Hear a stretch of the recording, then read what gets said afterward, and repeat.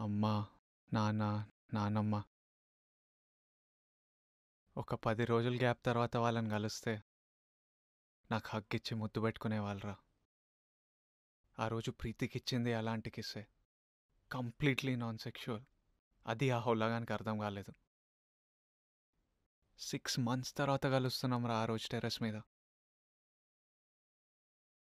అయినా సెక్షువల్ అనిపించినా సారీ మర్మయే నా తప్పండియే నేను మాఫ్ మల్పలే పండది బుడుతు పోతుడు అని చెప్పి పోవాలి నా అక్కడ నుండి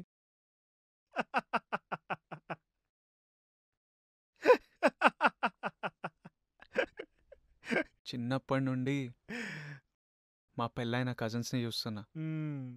అసలు అందరం హాల్లో కూర్చుంటే అందరి ముందు వెళ్ళి బెడ్రూమ్ తలుపేసుకుంటుండే. హాల్ ఉన్న వాళ్ళు అసలు ఏం కానట్టు టీవీ చూస్తుండే.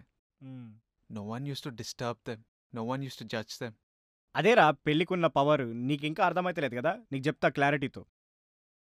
సక్సెస్ఫుల్ లవ్ స్టోరీస్లో ఏమవుతుందంటే పిల్లగాని మీదకి ఉన్న ఇంప్రెషన్ వాళ్ళ మామది ఎప్పుడు మంచిది కాదు. మోస్ట్ బత్తర్ ఉంటుంది. ఎందుకంటే ఇక్కడ సక్సెస్ మీన్స్ మ్యారేజ్. సక్సెస్ అంటేనే పెళ్ళి.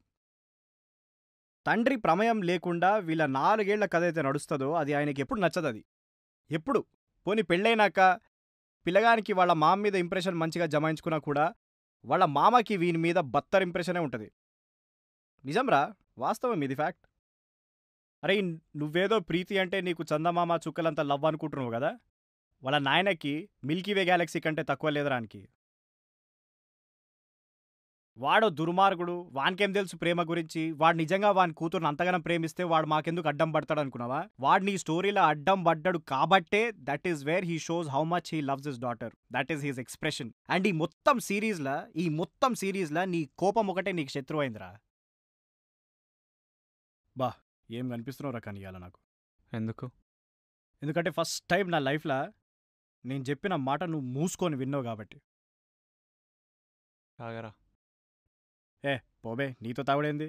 నిన్ను ఎంకరేజ్ చేసినట్టు అవుతుంది ఎంకరేజ్ చేసుడేందిరా నేనేమన్నా అండర్ ఎయిటీనా తాగు. ఏ పోరా పో నేను దాగపో ఏ తాగుబే ఏ. తాగురా.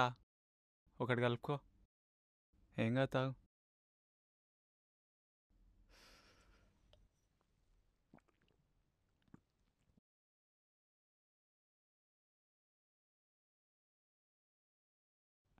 ఏమైందిరా? ఎందుకు నవ్వుతున్నావు?